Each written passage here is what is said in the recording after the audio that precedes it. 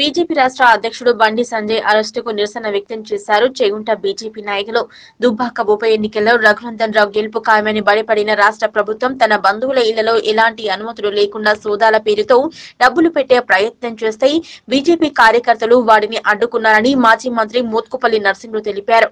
చేగుంట మండలంలోని ఓ private function హాల్లో విలేకరుల సమావేశంలో మాట్లాడుతూ మాజీ మంత్రి మోత్కుపల్లి నరసింహులు ముఖ్యమంత్రి కేసీఆర్ రాజకీయ దుర్వినియోగానికి పాల్పడ్డారన్నారు. అధికారం ఎప్పుడు శాశ్వతం కాదన్నారు. ఉప ఎన్నికలలో ప్రజల టీఆర్ఎస్ పార్టీకి బుద్ధి చెబుతారని బీజేపీ అభ్యర్థి రఘునందన్ రావుని పోలీసులచే ఇబ్బంది పెట్టే ప్రయత్నం చేస్తున్న ప్రభుత్వ వైఖరిని ప్రజలు గమనిస్తున్నారని ఆయన ఆగ్రహం వ్యక్తం చేశారు.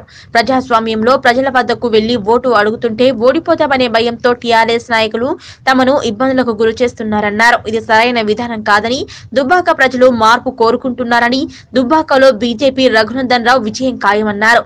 రాష్ట్ర అధ్యక్షుడు బండి సంజయ్ అరెస్టుకు నిరసనగా రాష్ట్ర వ్యాప్తంగా నిరసన కార్యక్రమాలు చేపట్టారు.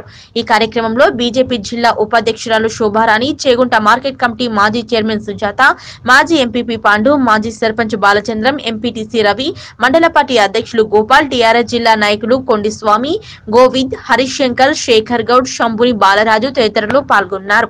నిన్న రాత్రి జరిగినటువంటి సంఘటన చాలా దురదృష్టకరం చాలా బాధాకరం. ప్రజాస్వామ్యానికి ఒక గొడ్డలి పెట్టి. వాస్తవంగా కేసీఆర్ గారి ఎట్లున్నాడంటే ఇక నేను తప్ప నా నా ముఖం తప్ప నా వేషం తప్ప ఇంకెవరి ముఖం ఉండొద్దు అన్నట్టు కనపడతాం. రాజకీయాల్లో ఎవరి ముఖం పర్మనెంట్ కాదు. కేసీఆర్ గమనించుకోవాలి. ఇదే తరాలో గత ప్రభుత్వాలు గనక ఉండింటే ఈయన ఉద్యమం చేస్తుండేనా? ముఖ్యమంత్రి అవుతుండేనా? ఎన్నికలు ప్రజాస్వామ్యయుతంగా జరగాలి.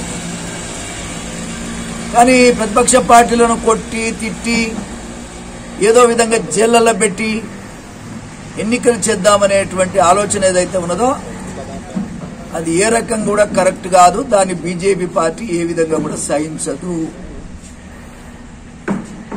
బీజేపీ పార్టీని చాలా తక్కువ అంచనేస్తున్నట్టు కనబడుతుంది. ఈ దెబ్బతోటి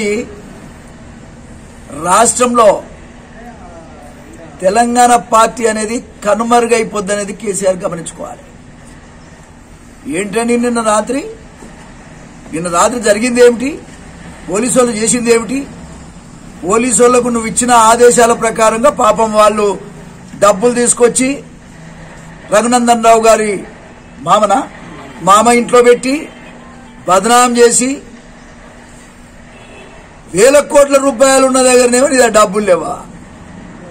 ఇప్పటికి మూడు సార్లు ఎన్నికలలో పోటీ చేసి దిక్కు లేక ఇవాళ ప్రజలంటే ప- పైసలు ఎక్కడ కూడా దరిదాపుల్లో కూడా ఉండే పరిస్థితి లేక చాలా ఇబ్బంది పడుతున్న విషయం అందరూ తెలుసు.